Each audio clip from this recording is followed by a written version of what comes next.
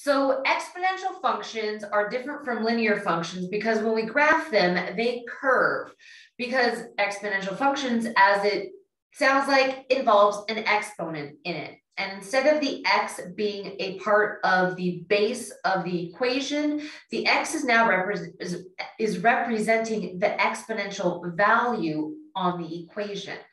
And the way that they're set up is f of x, so it's still a function notation saying y is the result of the x value.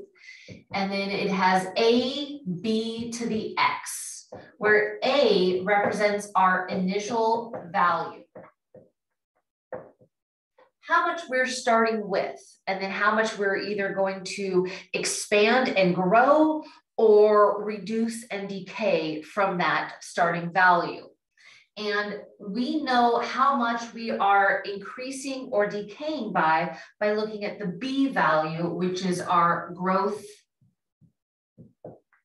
factor. Okay, so this is the number we're using to multiply with. And this value is determined from two other values. It comes from one and the value of the rate being added to the one. And this one is representing, this here is a percent. So how much the percent that is remaining or how much is it's increasing by or how much, uh, yeah, just how much of a substance we have every time we calculate it. And so this one is representing 100% of that initial value. And then we're either increasing from there, or um, if the rate happens to be decay, then we're decreasing this value. Okay, uh, and then the x is our input, just like before with the linear functions, but now it's generally representing time. It's representing how many times we need to be calculating this growth or decay to find out our end quantities from whatever we started with, okay?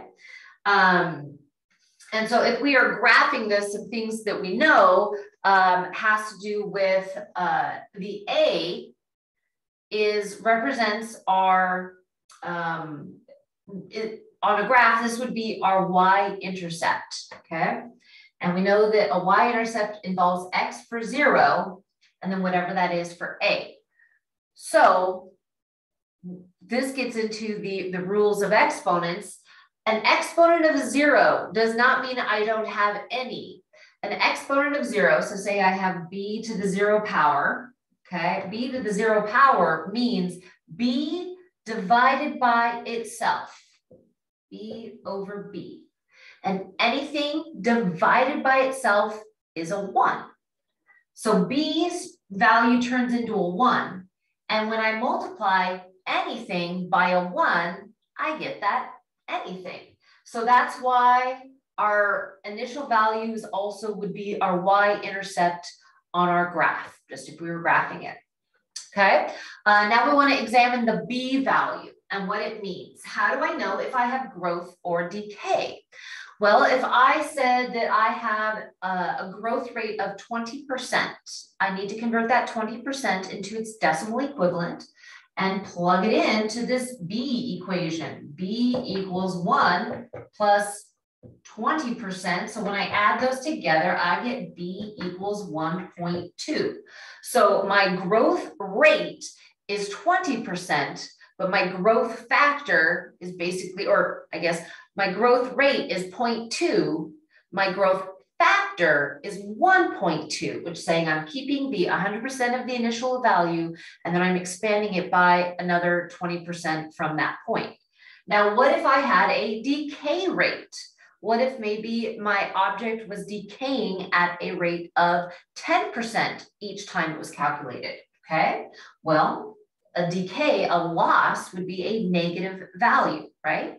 So if we plug that again into the B, we have a one, and then we have a minus 0.1 because 10% as a decimal is 0.1. So if I have one and I take away a tenth, it means I have nine tenths remaining.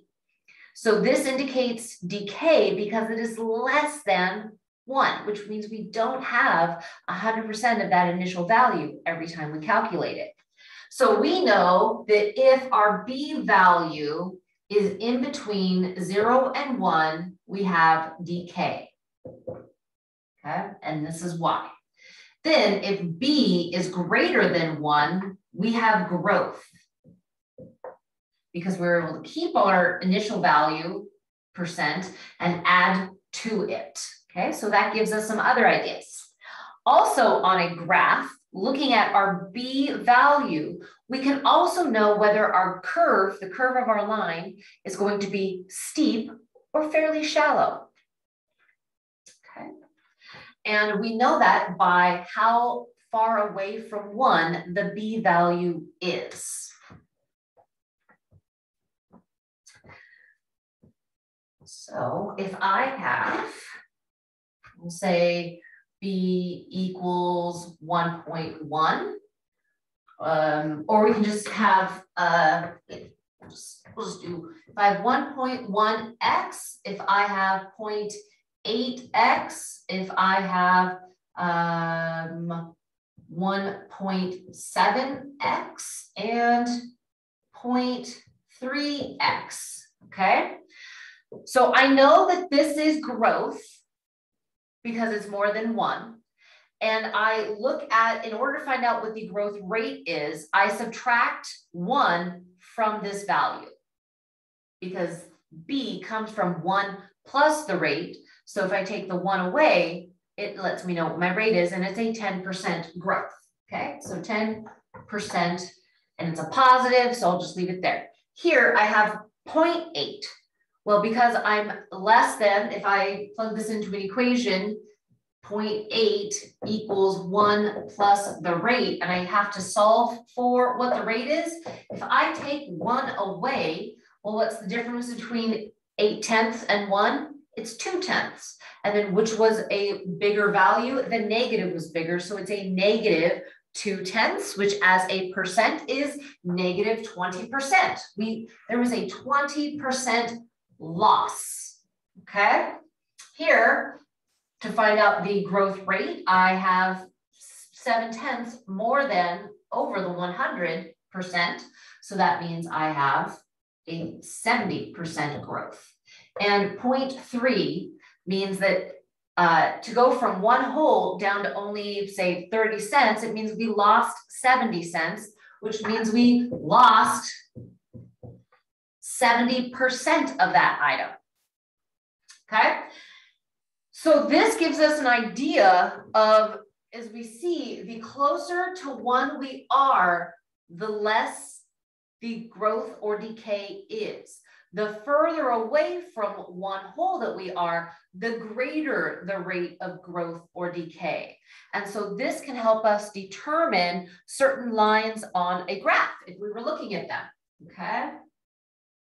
Okay, so if I just have this graph here, wherever these would cut through, I'll just pop a, um, well, we're, we're all going to assume that they, they all have the same A value, initial value uh, of one. So we'll go with one. So they're all going to cross here.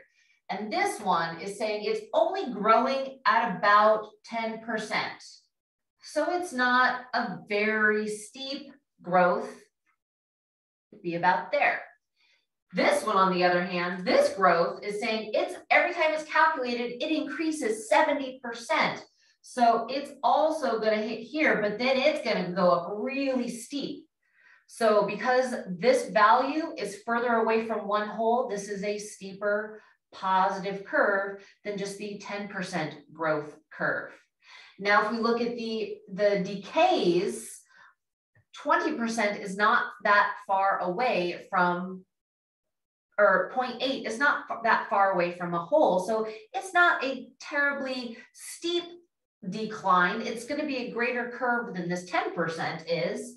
Um, but we'll say it's going to be about here. And so the negative, the decay lines start up higher over here, and then they go down as you move across. On the other hand, this negative 70 is going to be way up here and reducing. We're going to pretend it all went through the same um, y-intercept. So the steeper the curve, the bigger the variance from the one whole or 100% B value that we have. So this kind of just helps us be able to chart graphs and understand which line might be represented by certain values. So for exponential functions, it's all about solving for the exponent, the x value, um, to let us know how many times a base is being calculated to find this other value. And the, the rule is, if we have, it's a to the m equals a to the n. If we have some base to an exponent, and we have another, and we have that exact same base on the other side of the equal sign, it means those exponents have to equal each other because the bases equal each other. So once we get two bases being the same number, we can make their, their exponents equal each other, which is gonna let us solve for one of the unknowns. So if I start with 5x equaling 125, I do not have the same base. So I can't currently solve for X. What I need to do is go over to the 125 and break it down to a base of five and figuring out, well, how many fives got multiplied together to make 125? So I just start dividing out five. If I take five out of 125, I get 25. If I divide five out of 25, I get five. And now I'm done. So I now have 5x equaling, I take this base, I have a base of 5, and how many times do I have it? I have a 3. So now that I have this, now that my bases are the same or my a's are the same, I can basically ignore them. They don't hold any sway. Now I just look at my exponents and they have to equal each other. So x equals 3. And if I plug that in, 5 to the third power, is it 125? Yes, it is. Okay.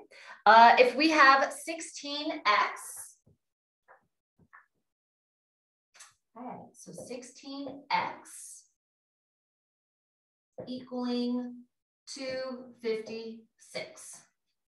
Now, generally, a larger base like this is not going to work. We want our bases to be prime factors unless it's a base of 10. Um, because oftentimes if I took 16 and I multiplied it by 16. Let's see what we would get. 16 times 16. Oh, well, that actually kind of worked out. That, that one worked out okay. Um, all right, well, that was handy. So you do double check, can I multiply this number by itself to equal that?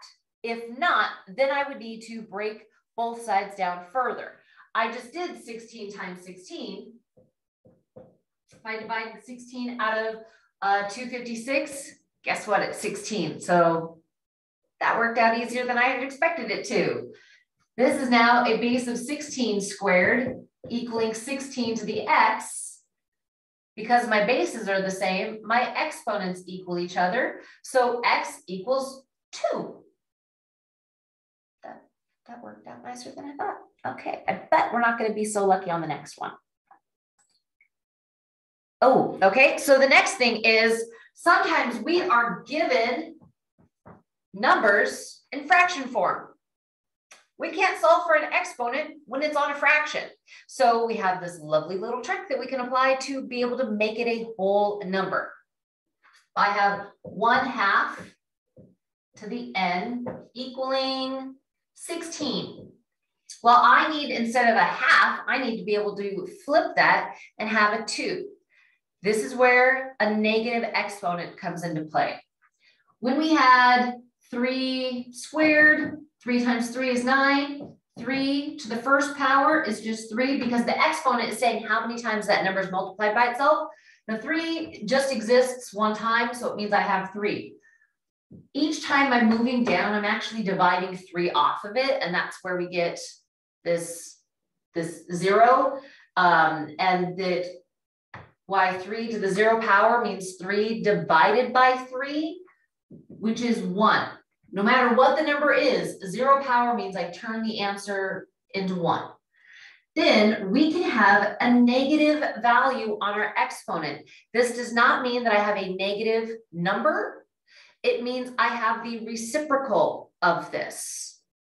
So instead of having three as a whole number, I have one third. So I flip it to get the negative off the exponent. If I have three to the negative two, to get the negative off of the exponent, I have to flip it so that it becomes one and three to the second power. And then I evaluate what three to the second power is. It's one ninth and so on and so forth. So I need to be able to flip the one half into a whole number. So to do that, I just put a negative onto its exponent. So now I have two to the negative n equaling 16. All right. So do I have the same base? What do I need to do to the 16?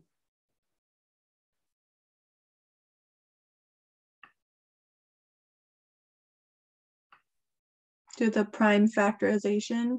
Yeah, I'm gonna uh, take it down to its prime factorization. So I know it has, if I have a base of two over here, I wanna have a base of two over here. So I'm just gonna divide out two and see what I get. All right, two, eight divided by two leaves me with four. Four divided by two leaves me with two and two. So I have four twos here. So two to the fourth power is equal to two to the negative n. Because my bases are the same, it means my exponents equal each other. If I have negative n equals 4, this is not my final answer. Why not? What is wrong with negative n equals 4? You can't have the negative on the exponent or on the variable. You can't have no, it on no. the variable. You're right. So how do we get it off of the variable? Um, put it in the parentheses and put the negative outside of it and flip the signs? Beautiful. Yes, you make the inverse. You wrap up the entire equation in parentheses, put a negative in front, and then you distribute the negative. Negative times positive becomes a negative 4. And now the negative is off of the n and on the 4. So n equals negative 4.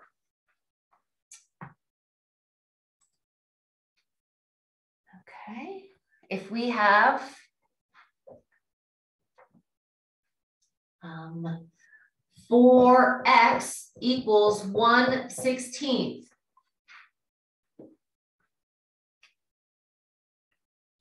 What should I maybe do so I'm not working with a fraction?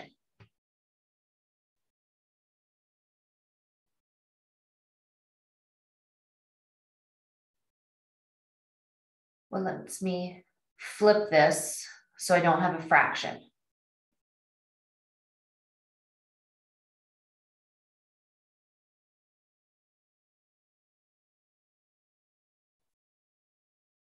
I just got to put a negative sign on it.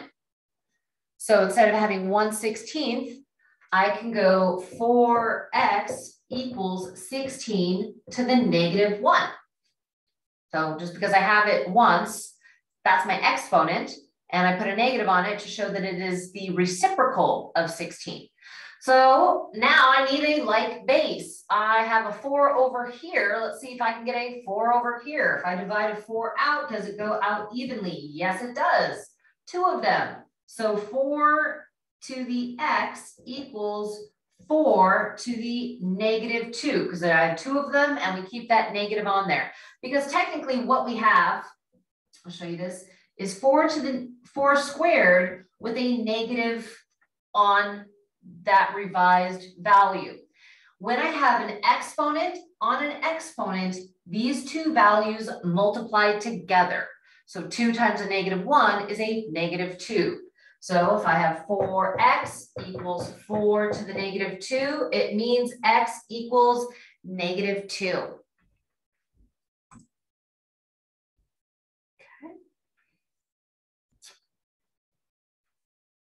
All right.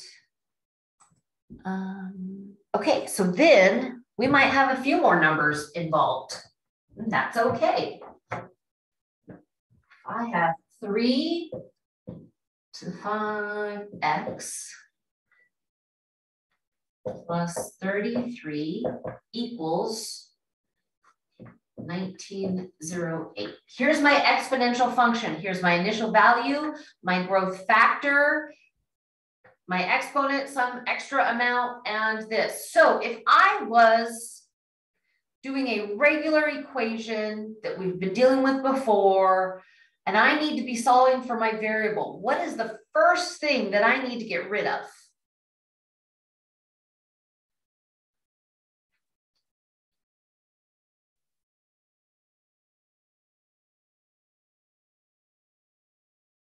The parentheses? Well, the exponent? Well, we want to deal with this last because this parentheses is here to show multiplication. And we're basically kind of working the furthest away from the variable we have, working our way closest. So we do have this whole thing, but we have this outside of it. So this is the furthest thing away from our x. So it's what we want to get rid of first. We always add or subtract on both sides before we worry about any multiplication or division. So we got to take away our 33. It's five, eight, seven, eight, one. Okay, so we have three times five to the x power equaling 1875. Now the x is on the five, so those need to stay together. What is closest to it that we need to get rid of? Three. The three. And what do we need to do with that three to get it off of there? Divide it out of? We're going to divide both sides by it, you bet, because it's originally saying multiply here. So we have to divide it out. So if I take 1875, 75 divided by 3, I get 600. So 5x equals 625. Well, I have a base of 5. I need a base of 5 over here. So tell me what this breaks down to as a base of 5. 5 to the what power?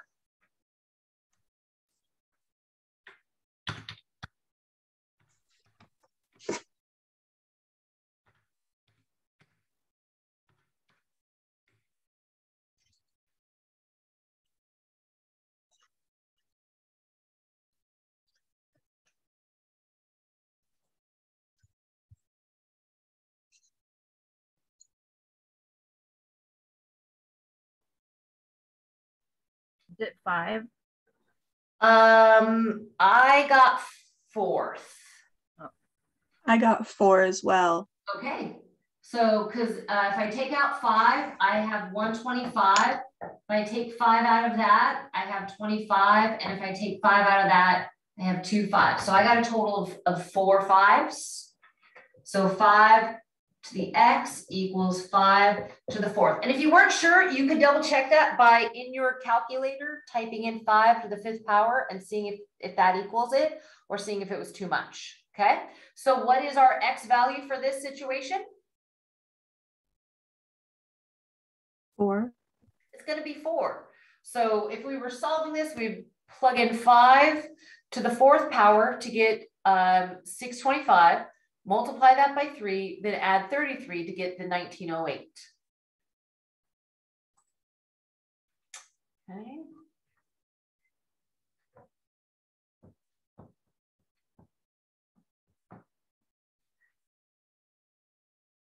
Three times eight to the x plus 22 equals 70. I'm not expecting this to be very big, but let's see. Okay, so where do we start? What do we clear off first?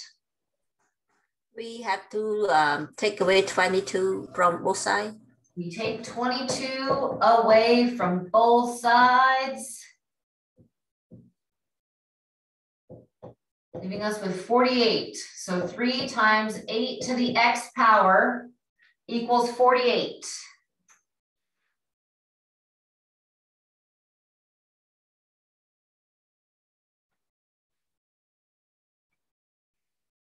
Now what's our next step? So you divide both sides by three? Yep, we gotta divide both sides by three to be able to have the eight x equals 16. 16. Now, looking at powers, can I go eight? So eight to the first power is eight. Eight to the second power is 64, which is way bigger than that. So am I going to be keeping an eight or do I need to make, I need to break it into a smaller base, right? Because I don't have a power I can raise this to that makes 16 as it stands. So what number should we break eight and 16 down to? Two. A two, you bet. When I divide a two out, I get four and two and two. So this becomes two to the third times to the x power, which just means because we have an exponent on an exponent, I have, I'll put it over here, two to the three x. And here, when I divide a two out, I get two to the fourth. All right, because my bases are the same, I now need my exponents to equal each other. Those go away. 3x equals 4. How do I solve for x? Divide it by 3. Divide both sides by 3. You got it. So x equals 4 thirds. We can have a fraction as an exponent.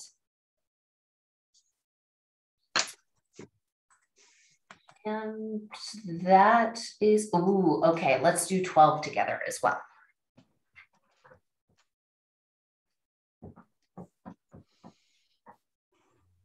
Okay, if I have 8 to the 3x plus 1 power equaling 16 to the 2x minus 3 power, okay, I need my bases the same. What did we say eight was a good base of? We just converted it. What was it worth? 2 to the third power. So 2 to the third power to the 3x plus 1 power equals, and we did 16. 16 is 2 to the what? 2 to the fourth power. 2 to the fourth power, and it gets multiplied by, or, and then to the 2x minus 3 power. What did I say we do to exponents and exponents? Uh, multiply them. We multiply them together, yeah. So we are going to distribute that 3 and the four. So three times a 3x? 9x. 9x plus 3 and 4x minus 12. All right, these two have to equal each other. Oh, I, I messed up. Caught myself though. All right, 8x minus 12. How do I solve for x?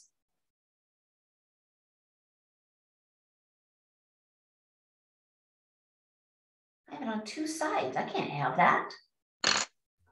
You do like a normal um, equation. So eliminate one side of the egg. Yeah. Yeah, by um, subtract. Yeah. Uh, you can subtract eight from the nine. If we subtract the eight off of both sides, that still allows me to have a positive x. So x plus 3 equals negative 12. And what do I do with the 3?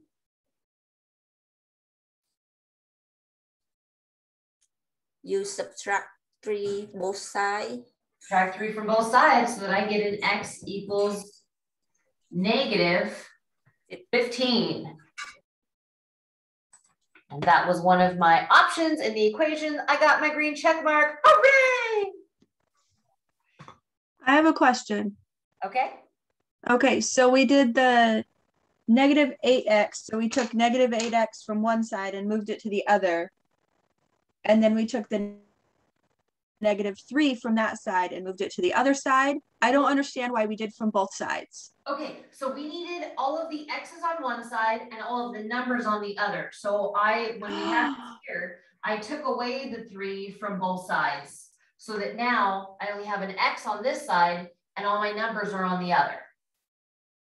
Okay, I didn't think about it being like the X's with the constants. I didn't I didn't think about that. Okay. Thank you. You. It's always the, Glad it's always the easy stuff. Like, yeah. Hey, I'm glad that we could clarify that. So it's all good. Okay. So looking at growth versus decay, uh, task two, it is giving us some story problems and we're having to kind of dissect the information and do some calculations on it. Um, and so um, in, North Dakota, so North Dakota has recently had the fastest growing population out of all 50 states. On January 1st, 2013, the population of North Dakota was 700,000 people.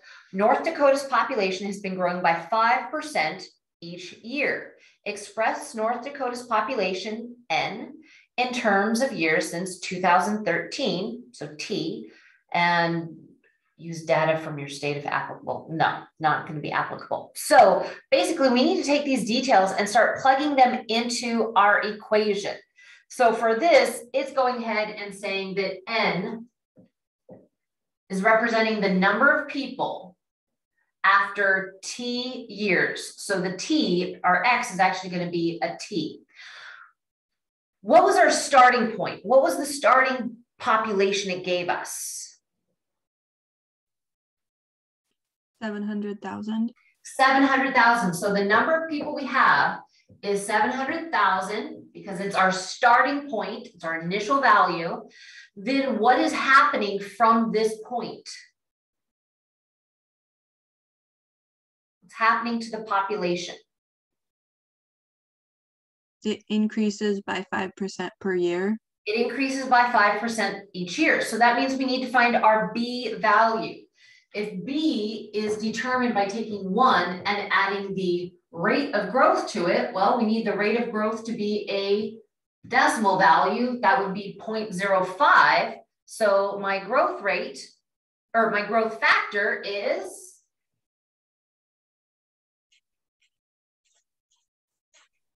One point zero five. 1.05 and after T years. So this is our equation that we are going to use to calculate the population in North Dakota after 2013. So we need to figure out what our T is. What's our time going to be? How long has it been since 2013?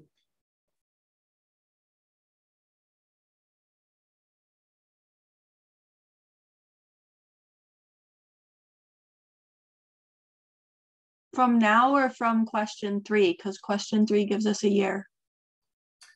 Oh, ah, you're right. You're right. Okay, that makes sense. I didn't, I haven't done this one in a while. Okay, so anyways, there's our baseline equation. So it asks, what was your initial value? And we picked 700,000. What was our growth factor?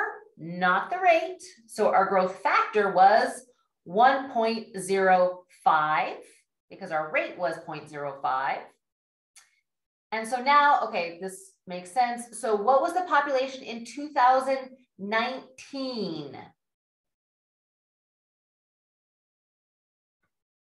So how many years has it been from 2013 to 2019?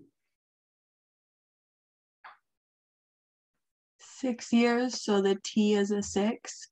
T is a six. So it wants us to find N of six is 700,000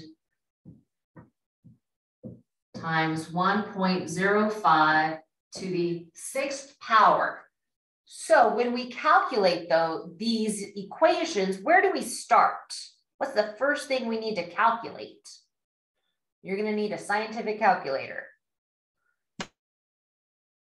Candy Crush off of my phone. Okay, if you happen to have a calculator on your phone, generally if you turn it to a side, it will turn into a scientific calculator. All right, where are we starting here? PEMDAS says what? Uh, We have two operations. Multiplication and an exponent. PEMDAS says we solve what first? The exponent. Exponent first. So what you're going to do to calculate the exponent value is you could do the long way, saying 1.5, 1.05 times 1.05 times 1.05 times 1.05 times 1.05. Or you just go 1.05, hit the X to the Y button. So it's a big X, little y up in the air, like it, the Y is the exponent, and then a six. I think somebody might have said that they had a Y to the X, but generally it should be X to the Y. Okay, and so when we type in 1.05, X to the Y, six, we get, you get the 1.340095640625?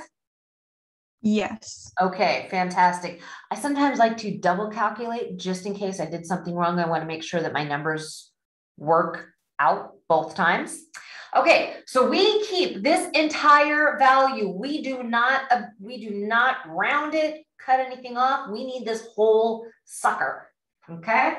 Um, one point three four zero zero nine five six four zero six two five. And what are we going to do with that enormous number or that many digit number?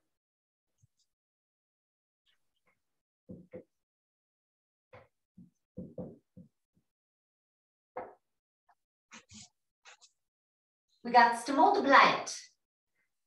So we have to multiply it by our initial value. So multiply times 700,000. Double check. Be careful about your number of zeros. And what did we get? We cannot have, also, we cannot have a partial human. It's all or nothing. So what's our population in six years? 938,066.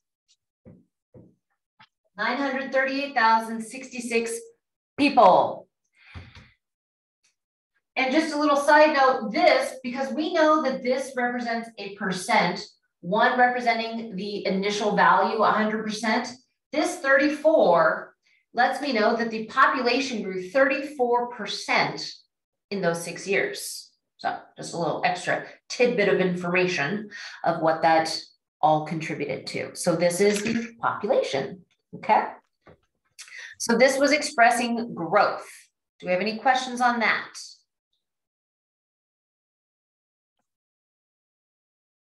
Okay.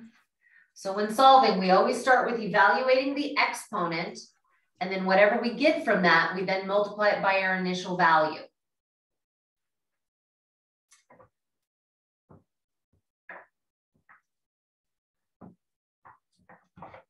All right, now we have an air freshener.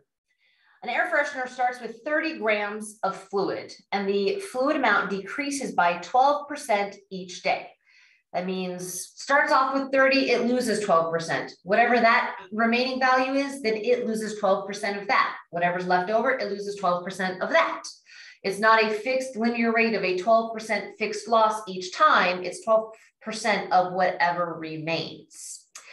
Okay, so what would the exponential function of the story problem look like? How would we, so what's our, what's our initial value? Oh, and it wants it q of t. So the quantity after a set amount of time, what do we start with? 30.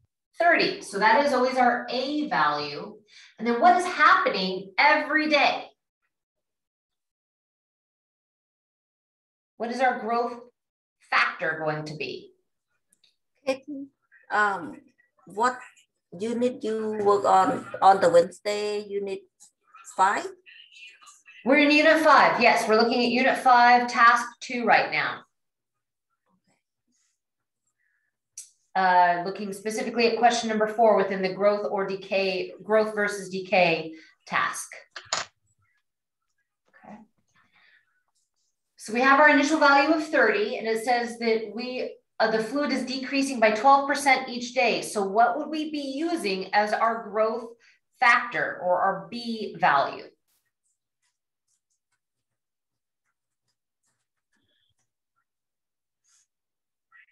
So it decreases by 12% per day. Uh-huh. So are we doing the one minus 12% and then we end up with 0.88 remaining? Yes, yes. So our growth factor is always showing the percent remaining. This is why we can we always have a positive B value because it's the percent that we have left. So after we have taken 12% out of 100%, we have 88% of it left. So fantastic.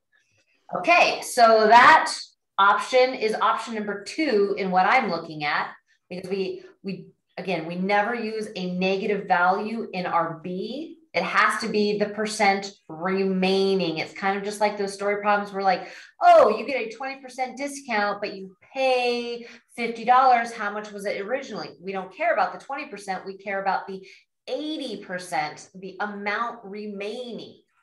Same scenario. Okay, so we have to figure out how much air freshener is going to remain in one week. What are we going to, how are we going to figure out how much is left after a week? Um, uh, we multiply 30 with 0.880, so we have to looking for the t. So we plug in seven for the t, you bet. Okay, so if the, if we now have 30 times 80 hundredths to the seventh power, where do I start in my calculations?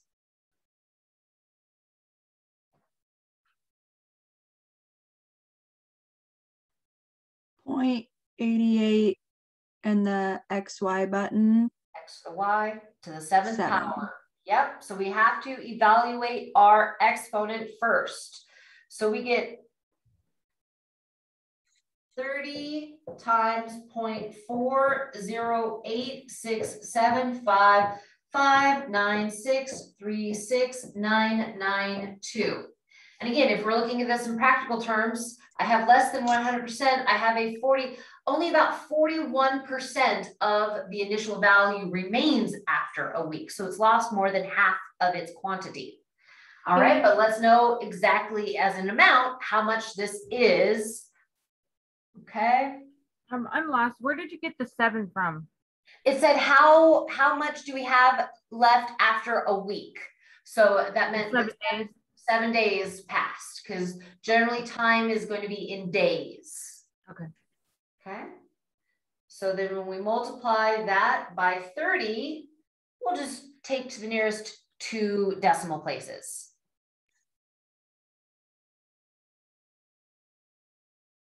What'd you get? What is our quantity after seven days?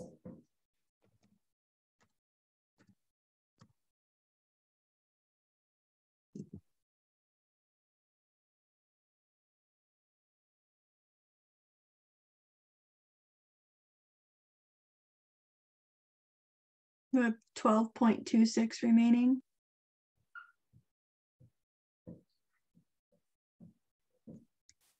12.26 grams. Was it in grams? Yeah. Yeah, grams would remain. You got it. All right, so pre so what we've been dealing with is linear functions where we have some base to an exponential power equaling what we call the amount. We take our amount, we raise it to some power, and we get an answer out of it. This is an exponential function where we're, our focus is solving for some quantity. Well, we have the reverse or what we call the inverse of this, and this is called a logarithm. So a logarithm, so this is an exponential, exponential And then we have a logarithm.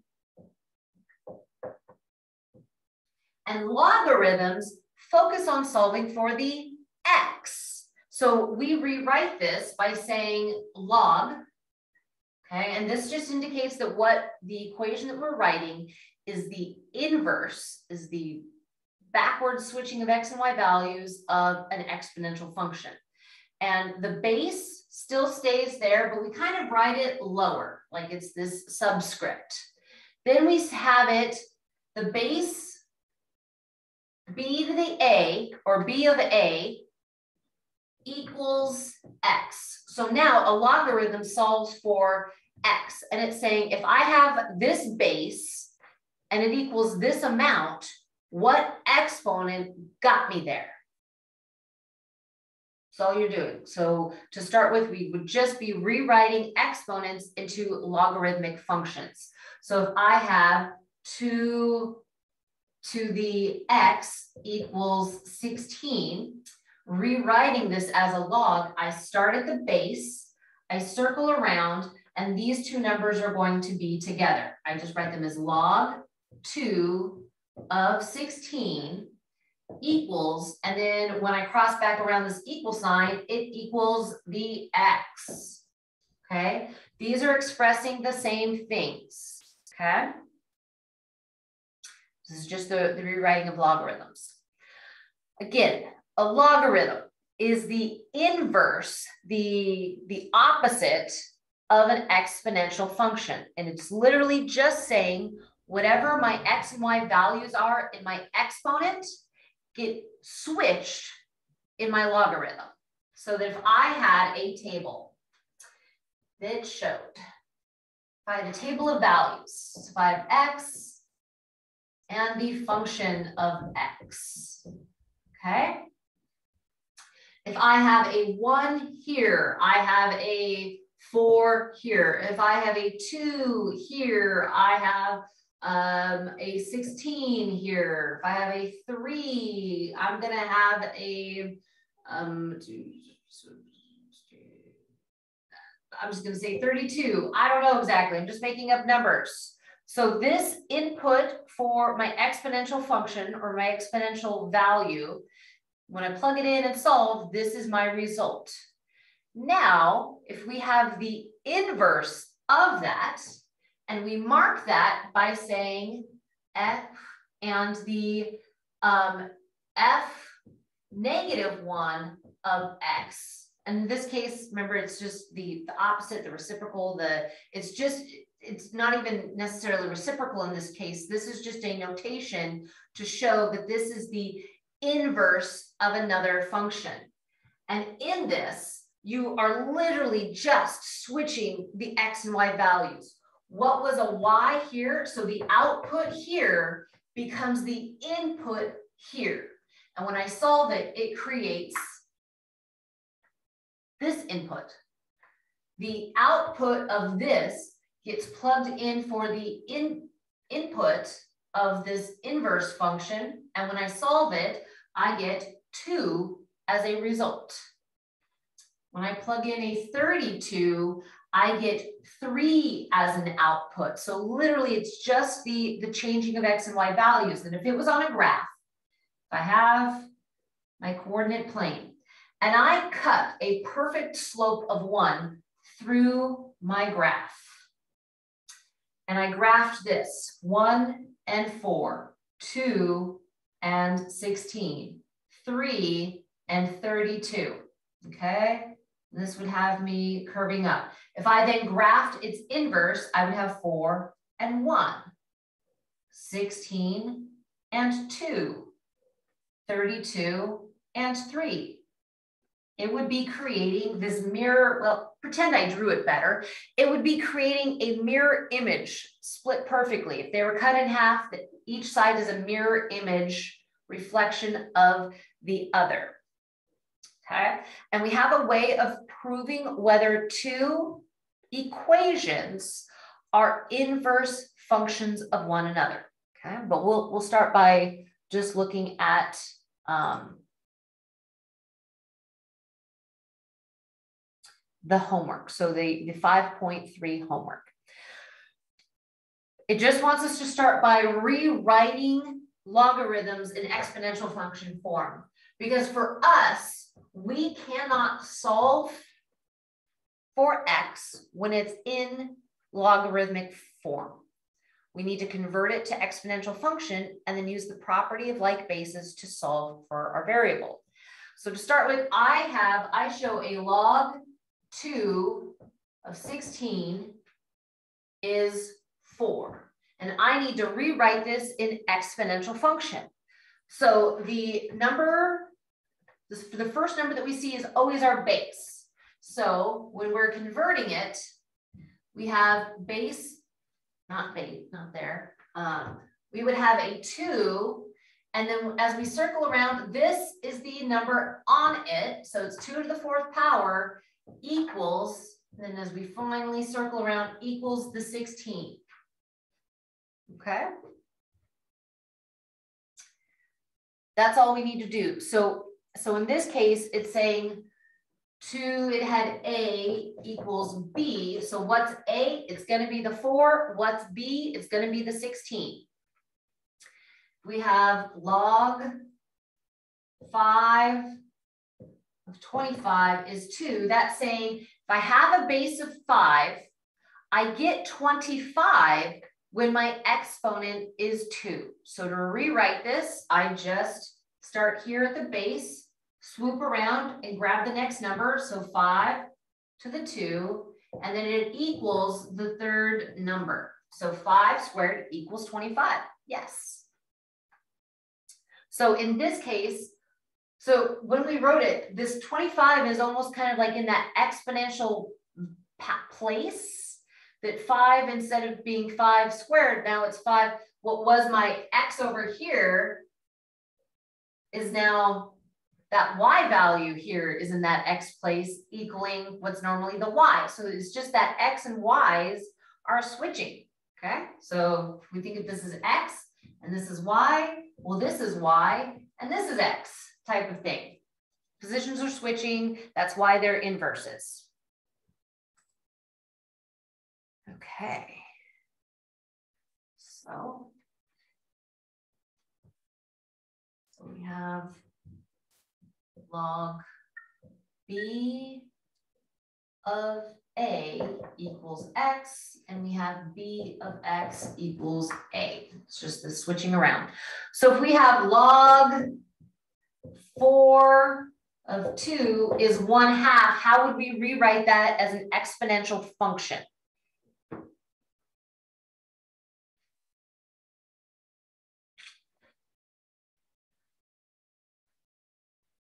What's my base? You got four. Four is the base. What is its exponent value going to be? One half. One half, and it equals? Equal two. Yeah. Okay, so we got that. So now it actually wants us to go ahead and, and uh, I'm looking at number three on the homework. If I have log seven of 49 equals X, I need to, I want to solve for X. I cannot do that in this format. I need to convert it to an exponential function. What is this going to be as an exponential function?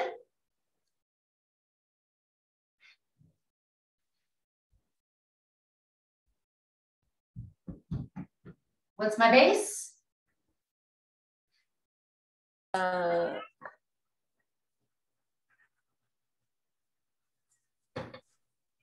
seven. Seven? Yeah. What, what's its exponent? 49. Uh, its exponent Oh. is actually going to be x. Never mind. That's okay. Um, so 7 to some power equals 49. 49. So since we have a base of 7 over here, I need a base of 7 over here to be able to find out what x is.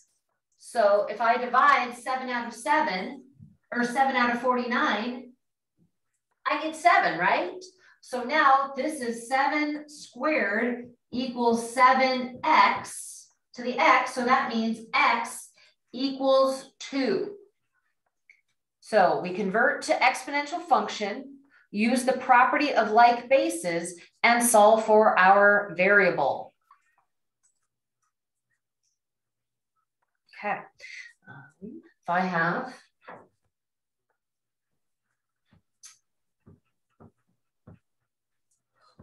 okay, if I have log 4 over 256 equaling m. I need to solve for m. How do I start?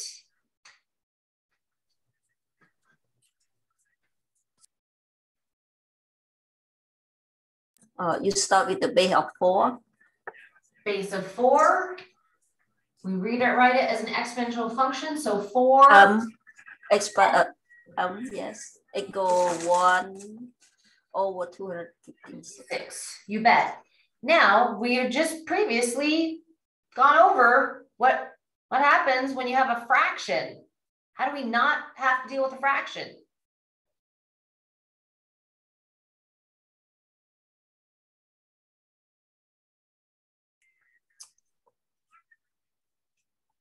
Multiply. What lets us flip a number?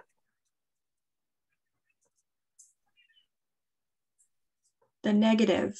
A negative on the exponent, you bet. So we can't do the, the previous things that we've done where we've cleared the fraction by multiplying everything by the lowest common denominator. We, we don't have that in exponential functions. We need to use negative exponents to be able to flip it. So now I have 4m equals 256 to the negative one power. Now, how do I solve for m? My bases don't look anything alike.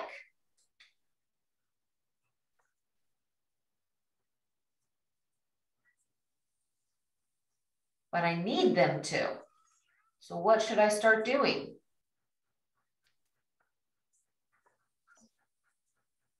I forget what it's called, but you want them to have the same base rate. Yeah, we need to, you know, factor it out to uh, factor it out by its by fours. We'll see if we can make it this four to some power equals 256. So when we divide four out, what do we get?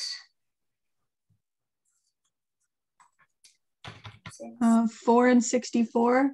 64. And I divide 4 out of 64. 4 and 16. And I divide 4 out of 16. I get 4 and 4. So 4 to the 1, 2, 3, fourth power gets me 256. So 4m equals 4 to the negative 4 because... Sorry. I got you. So because we had four to the fourth and there was a negative on that, four, uh, so four times a negative one makes it a negative four. So now that we have that, we have m equals negative four. So the logarithms really are just have us doing the exact same things we were doing in the exponential functions. We just need one more step and that is converting it from its log to exponent format. And then we do the same thing that we were already doing. Okay. Um, actually, let's look at, I'm going to look at number 10 real quick on that homework.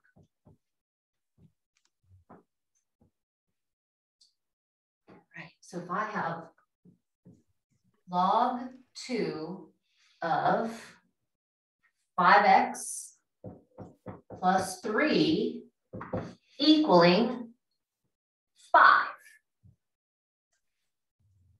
Okay. So, first step.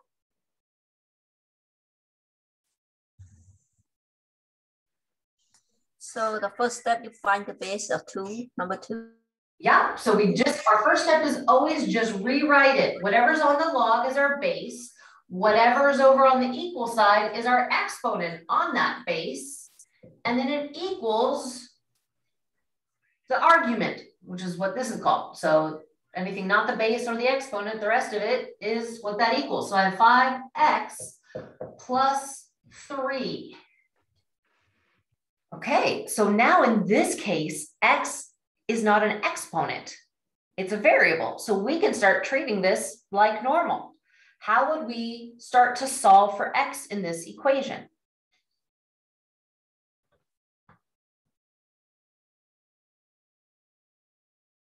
Is that we uh supposed to be subtract three? Not yet, because we have a two to the fifth power. I can't take three away and move it to a side where I don't know how much this side is worth.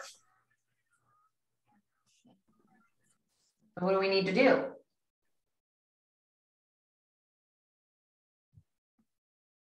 Um, figure out two to the fifth power. Two to the fifth power. So two X to the Y button and a five.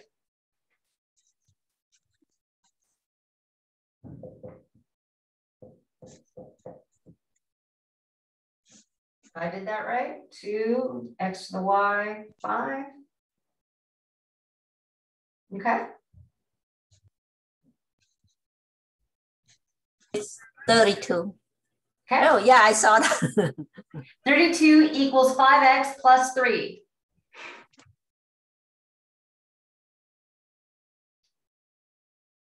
yeah, now you start to subtract.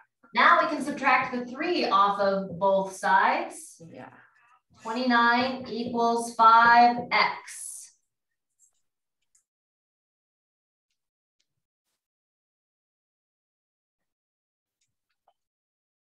Set the fraction x equals uh, 29 over 5. Yeah.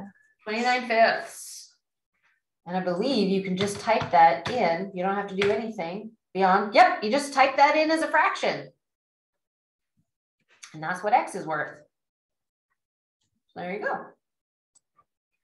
Okay, so the inverses are just showing that, you know, the x of one is the, and its result then turns into the input of the other and its answer, um, actually, I, I liked my other pairing. Um, when we were looking at, if we were looking at a scenario where I have the function of eight, so it says if I plug in an eight into my equation and I get a seven for the answer, the inverse of that, which we mark with a negative one on the F, the inverse of that becomes seven equals eight. So I plugged in an eight into this equation. I got a seven as a result. I took that seven, I plugged it in as the input of the second equation, solved, and got the eight as a result. So the output of the second equation is the input of the first equation. So it's literally just showing how the x and y's switch places in inverse functions. Okay, so if I have the function of negative one, or the, or the inverse function of negative six is negative two, the function of negative two would be negative six. It's just this switching of roles, okay? So now we wanna look at seeing whether two equations are inverses of each other. When you're given two equations, they'll each have different names of their function. It doesn't mean anything other than just it's a way to differentiate one from the other. This is the f function. This is the g function. Frank and Gigi, I don't know, okay? Um, and then in trying to find out if one is the inverse of the other, we plug one equation in for the variable of the second one. So the different ways that we can write um, composite function is saying it wants to know what the answer is to F based on the answer to G. So if we start solving, solve for X, you get a result. That result then gets plugged in here as the input of the F function. So if we follow this, we look at, we're starting at the G function. I don't have, because this just says an X, I don't have a number to plug in for X. So the answer to x as an input is x plus 4 divided by 3 as an output. Okay, so this is my input is x, my output is x plus 4 over 3. Well, then the invert, then it wants me to then find out, okay, well, if that's the answer to this equation, this function, plug that value in for the input of my second function. So now that means uh, instead of having an x, I'm going to have an x plus 4 over 3 as an input. So when I plug that in, I have 3 times x, which is x plus 4 over 3 minus 4. Okay, so wants to know what's the result when I plug this in for the value of x. So when I multiply a 3 by a fraction, I'm going to go ahead and turn this 3 into a fraction as well. And this is really convenient because the 3's cancel out. So that just leaves me with an x plus 4. So I have an x plus 4 minus 4. Well, when I combine my like terms, 4 and negative 4 cancels out. So the function of x plus 4 divided by 3 is x. Well, look at that. That's what we had here. This input became this output. This output became this input.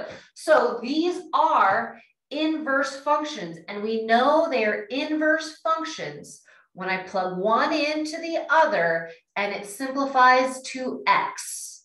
If there's any other value, they are not composite inverse functions, or I mean, they'd be composite functions, but they wouldn't be inverse functions, okay? We can also be asked to, so that would be the answer to this. We can also be asked to switch it around, find out what G is based on F's answer. So if I look at F, since it's the inside, it's where I start with first. I don't have a value for x, so its answer is 3x minus 4. This is what the y value is worth based on this being the x value. So that means this is what I plug in as my input in the second equation. So if I have, um, I plug in 3x minus 4 for x, so this is my y. I get 3x minus 4 plus 4 over 3. Well, okay, I'm gonna, this parentheses really isn't necessary, so I'm gonna clean up the top here. I'm gonna combine like terms. I have a negative 4 and a positive 4. Oh, well, those cancel out, leaving me with a 3x over 3. 3 divided by 3 is 1. 1x is just x. So if I had an input of 3x minus 4, I get an output of x. Well, that was, that's the inverse what was going on up here. So that means these two functions are inverses. So we're given another set of equations and we have to determine if they are inverses of one another. Good hint, if there's an exponent involved, they're not gonna be because because exponents are making a number multiply by itself, which creates so such tremendous growth that it's doesn't balance out. Okay, but let's prove it. Let's prove what it is. And this is another way of noting what is the function of f based on G. Okay. So it's saying we look, we focus on G's function first because it's closest to the X. Can I simplify this? Can I solve this? Do I have a value to plug in for X? No. So X equals, or X, with this being X, Y equals this, okay? So this is my output to this equation. It's just I can't, if I put in an x, I get 3x squared plus 3x as a result. I can't do anything else with it, not enough information. So then I take this output and I plug it in as the x value to my first equation. So I take it and I plug it in to the x so that I can find f's value.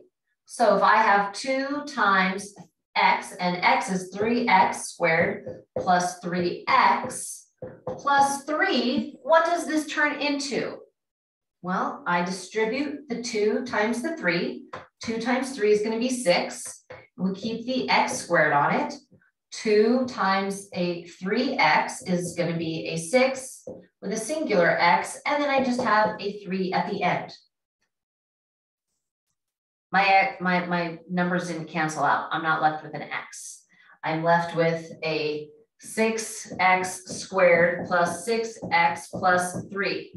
So guess what? Those are not inverses because I didn't get x as a result. I plugged in the answer for the other one as the input of the second one, but I didn't get X as a result, so not inverses.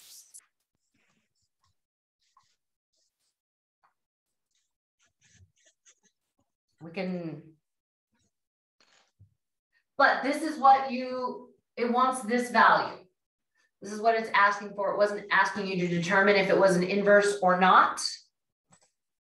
Um, when you're asked in question number three, you're gonna, you know, when you solve for when when it all canceled out to an x, you put in for a, oh, the answer was x. For b, the answer was x, and thus g of x is called an inverse function of f of x. So you would type in the word inverse as the third uh, answer in the third answer box of question number three and number two. Okay. So let's look at number five here.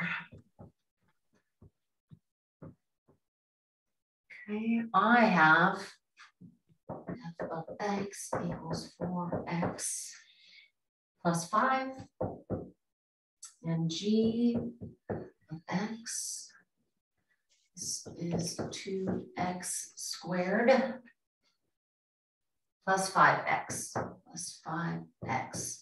So if it wants to know what the answer to f is based on the solution to g, what am I going to do?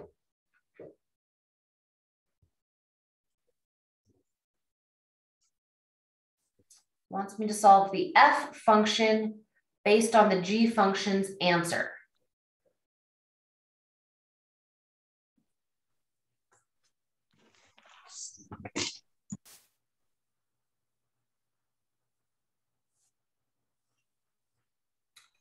We um, plug in the output.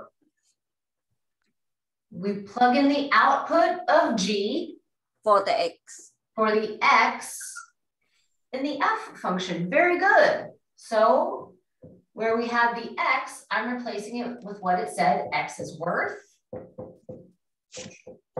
and then adding five to it. So now to get rid of the parentheses, I have to distribute the four. Four times a 2x squared is an 8x squared. Four times 5x is 20x. And then I just have a five. No terms can be combined because they all have different variable degrees or lack of a variable. And so this is the solution to your composite function.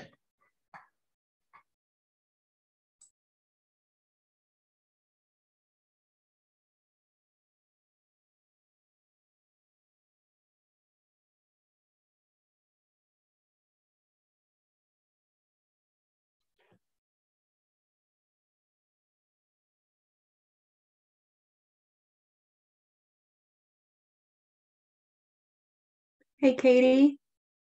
You're on mute. Thank you.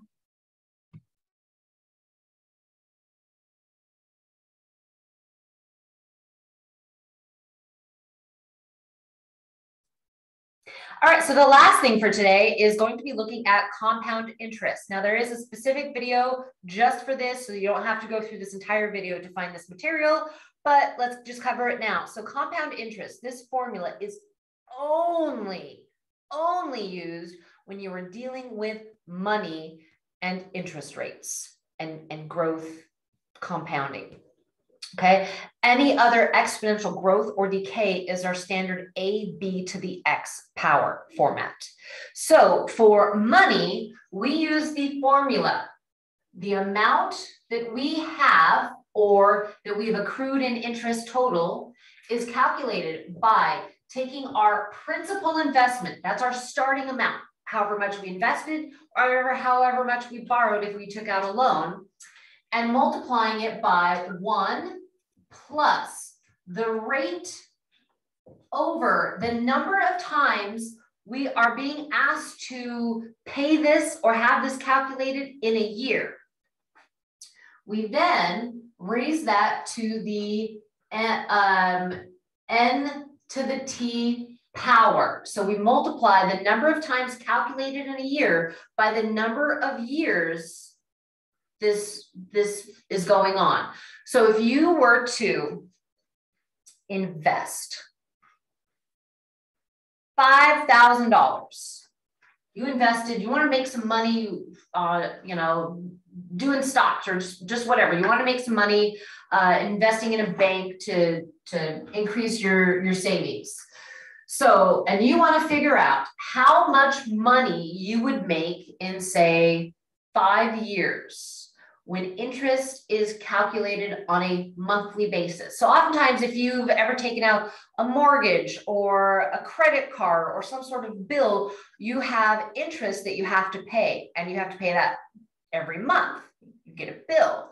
And so that means that your the amount that you've borrowed or your interest is being calculated on a monthly basis for the whole year. So my loan amount or this, this money, my investment that I made, my savings, I put in $5,000. And I'm supposed to make an annual rate of growth of, let's go 7%. Okay. So we keep our one because that's still accounting for that initial value. So we always have to have the one. This, this represents our B plus the rate of 7%, we convert it to its decimal equivalent. I cannot use a seven up here because that would be saying a 700% growth each time. Nope, it is a 7% growth. And if my interest is being calculated every month, how many months are in a year? Well, there are 12, okay? Then that means that it's being calculated 12 times over five years. So when you have your interest rate, oftentimes we call it an APR. So maybe, so what I'm saying is I have a 7% interest rate, but that isn't being applied each time it's calculated. That is being divvied up and distributed evenly amongst 12 months. So if I take um, 0.7 or 0.07 and divide by 12, each month I have then each month has an interest accrual of 0.0583. So it's, sorry, that's not a zero, that's a decimal. So it's like less than, it's just over half of a percent. It's not even a whole percent. So it's not a lot. It's not a very good gain, um, but it does add up. Okay. So what, oh, I should have kept all of that. Okay. So based on the order of operations, we solve what's in parentheses first. Well, I have a division situation and an addition situation. I have to divide before I can add. So I go 0.07 divided by 12. And that gives me 0.0058333333 indefinitely, okay?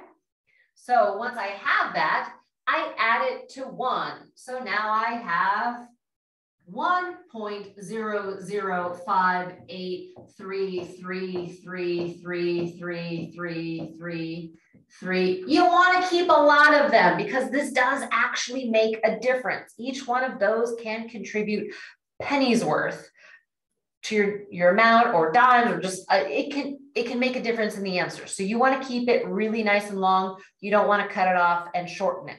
All right, then I got to figure out, well, what power is this being raised to? 12 to the fifth, or not 12 to the fifth, 12 times five. So that is saying in five years, the interest will be compounded 60 times. Okay. So what this is leading to is letting me know because I, if I have an initial investment of 5,000 and in one month, maybe I make, uh, let me go 5,000 times. Maybe I make 30 bucks off of that. Okay, so now at one month in, my balance is now at $5,030. Now I'm calculating interest on this. So then if I multiply uh, 50, 30 and say just go for I, uh, no, that's not working quite right. 29. It's just a little bit different. So maybe now I have 5,061 dollars. So it wasn't a flat 30 because I made interest on the interest. So each time that this gets calculated, it's being calculated on my new amounts. And it would just take too darn long to, to calculate it by hand, but it's creating growth on growth because you're you've made this interest, it adds to your balance, and then that gets interest calculated on it. So that's why it's compounding, it keeps expanding. All right. All right, back to this. So I have my, where did I put my calculator? Here it is. Okay, so I have my long value here, and I need to find out what that is to the 60th power. So I go 1.005833333333. I just put a lot of them in.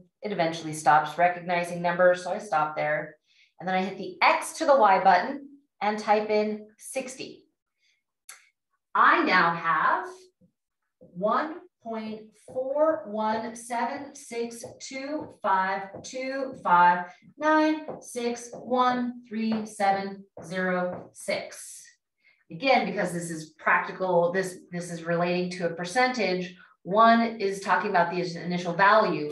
So the whatever is beyond that is actually what my total growth amount was. I increased my initial value by almost 42%. It's pretty decent for not touching a chunk of money for a couple of years.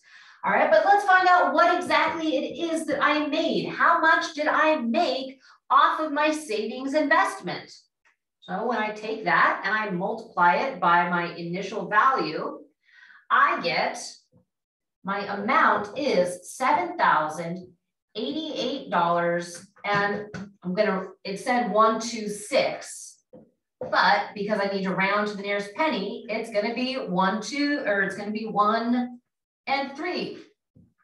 $7,000, $7,088.13. So made just over $2,000 in five years for not doing anything. That's kind of the nice thing about investing uh, is you can make some money off of it. This is also where things can go terribly, terribly wrong if you happen to take out a loan, a mortgage, a credit card, and you don't have a nice little percent like this. Usually credit card percents are more like 20 which as you can see how quickly things can grow with a little interest mm-hmm. rate, how bleh, huge they can get with a larger one because it might be 20, but you're paying one point something percent of this each month. That's what your, your accrual of uh, interest would be. So if I had $5,000 out um, times 0.016, just like if in a month, I would at least have $80 added to my bill. I think it's this is even too nice because I know I've had a credit card. I had like $180 just in interest, and my loan wasn't even that big. But and then the minimum payment was only like $75. Well, if I only paid the minimum, but they charged me maybe 150, that means my balance is only getting bigger and bigger, and I'm wasting more and more money just on interest. So that's why overpaying is always a good thing, and being aware of the uh, your your interest rates because they'll get you.